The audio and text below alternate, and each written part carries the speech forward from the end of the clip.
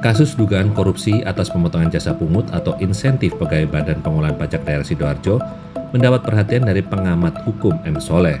Hal ini diungkapkan setelah marak beredar video KPK saat press release kepada wartawan di Jakarta kemarin.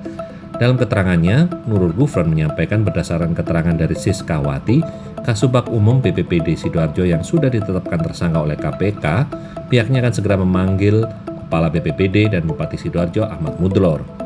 Soleh menegaskan tidak ada alasan bagi KPK untuk tidak menetapkan Bupati Sidoarjo Ahmad Mudlor sebagai tersangka. Karena sudah jelas hasil pemotongan insentif jasa pungut pegawai disetorkan kepada Bupati dan Kepala BPPD Sidoarjo.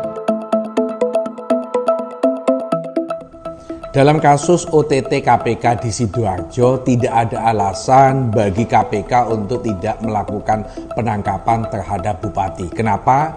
Karena dari pegawai Siskawati ini, pegawai BPBD sudah menjelaskan bahwa pungutan-pungutan dari pajak insentif ini diperuntukkan kepada bupati dan sudah menyetor sekitar 2,7 miliar selama periode tahun 2023. Terus nunggu apa lagi KPK? Kalau memang dia lari dipanggil pun tidak hadir, ya harus dikeluarkan daftar pencarian orang.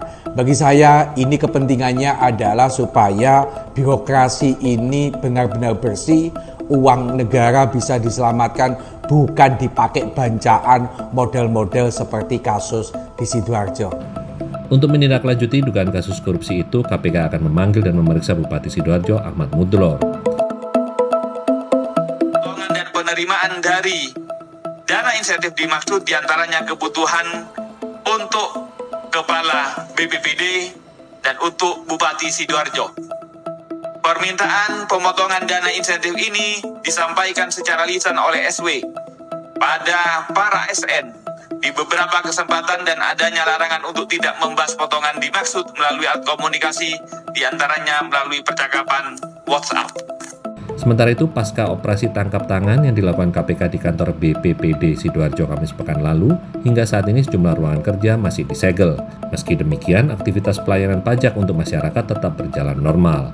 Alan Sorin melaporkan untuk TV.